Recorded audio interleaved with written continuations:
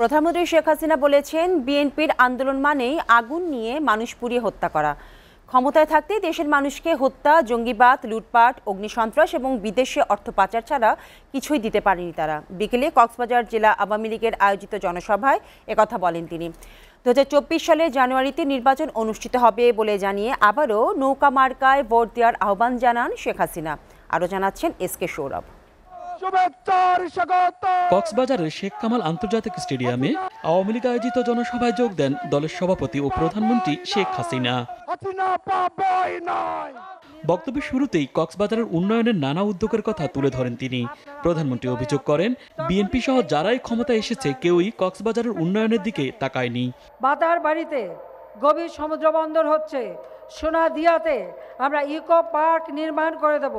টেকনাফ সাবরং সেখানে সহ এই কক্সেস বাজারে ছয়টা বিশেষ অর্থনৈতিক অঞ্চল গড়ে তোলা হবে। জাতির পিতাকে হত্যার পর জিয়া ক্ষমতা এসেছে, এরশাদ ক্ষমতা এসেছে খালিদা জিয়া ক্ষমতা এসেছে। কেউ কক্সবাজারের মানুষের দিকে ফিরে তাকায় নাই কোনো উন্নয়নই করে নাই। একমাত্র আওয়ামী লীগ যখন ক্ষমতা এসেছে তখনই এই অঞ্চলে উন্নয়ন হয়েছে। বিএনপির আন্দোলনের সমালোচনা করে শেখ হাসিনা বলেন ধ্বংস ছাড়া কিছুই করতে পারে না তারা। বারবার আঘাত এসেছে। তারপর আমি দমে যাইনি। কারণ এই লুটেরা যারা জঙ্গিবাদের মদত দেয় সন্ত্রাসের মদত দেয় দেশের অর্থ পাচার করে মানুষকে আগুন দিয়ে পুড়িয়ে পুড়িয়ে হত্যা করে কোনো মানুষ জীবন্ত মানুষকে পুড়িয়ে হত্যা করতে পারে। এই বিএনপির তারেক জিয়া খালেদা জিয়ারা তাদের আন্দোলন হচ্ছে মানুষ পুড়িয়ে মারা। গণতন্ত্র আছে বলেই দেশের উন্নয়ন হচ্ছে বলে জানান সরকার প্রধান। বলেন তার সংগ্রামী এখন দেশের মানুষের ভাগ্য পরিবর্তন করা। রোহিঙ্গারা এখানে আশ্রয় নিয়েছে।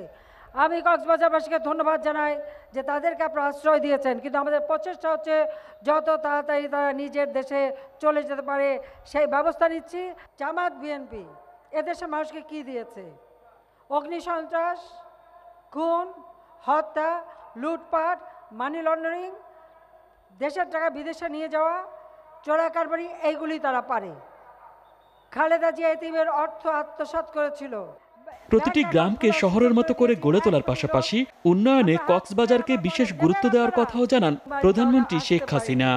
গ্রামে যারা বাস করে শহরের সব সুযোগ সুবিধা তারা পাবে। দু হাজার চব্বিশ জানুয়ারির প্রথম সপ্তাহে নির্বাচন হবে। সেই নির্বাচনেও আমি আজকে আপনাদের কাছে নৌকা মার্কায় ভোট চাই। আপনারা কি নৌকায় ভোট দেবেন? এসিটিভি নিউজ ডেস্ক